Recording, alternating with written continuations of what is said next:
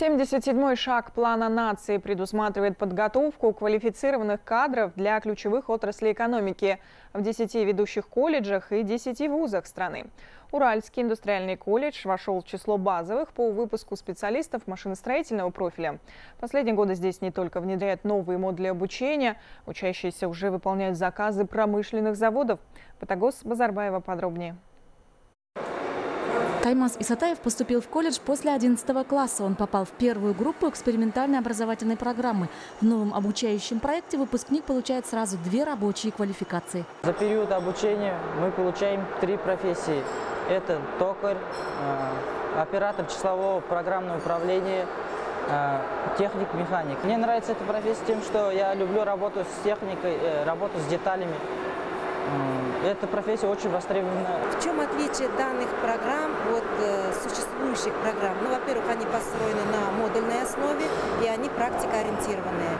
Здесь в основном 60% данных программ отдается на практическое обучение. С сентября здесь внедрят еще одну программу. Ее участники получат при выпуске квалификации электромонтера, сборщика трансформаторов и техника-механика. Один из трех партнеров колледжа по дуальному обучению, трансформаторный завод, уже принял на работу шестерых выпускников.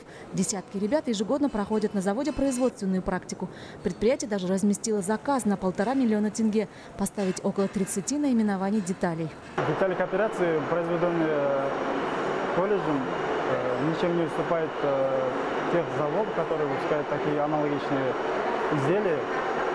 Можно сказать, э, из 90% экспорта продукции нашего завода есть определенная лепту вносит свои. Сотрудничают с, производством, с производственными предприятиями.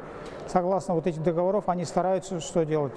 Подстроиться под требования предприятий.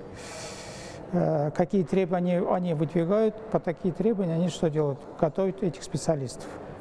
Поэтому с каждым годом этот процент трудоустройства у нас увеличивается. Профессионально-техническое образование в регионе можно получить в 38 колледжах. Больше половины из них работают по дуальной системе совместно с производственными предприятиями. По статистике трудоустраивается больше 70% выпускников.